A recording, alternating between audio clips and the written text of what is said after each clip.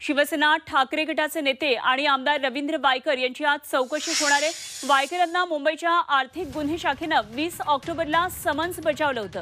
त्यामुळे आज रवींद्र वायकर यांना आर्थिक गुन्हे शाखेच्या कार्यालयामध्ये हजर राहावं लागणार आहे. जोगेश्वरी भूखंड घोटाळ्याचे आरोप रवींद्र वायकर यांच्यावर आहेत आणि याबाबतच्या चौकशीसाठी त्यांना हजर राहण्याचे निर्देश देण्यात आलेले आहेत.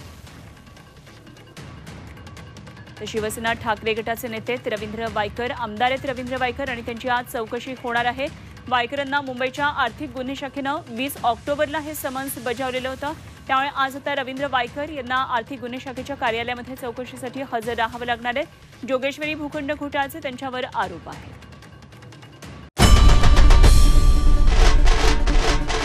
आई भवानीचा गजर म्हणजे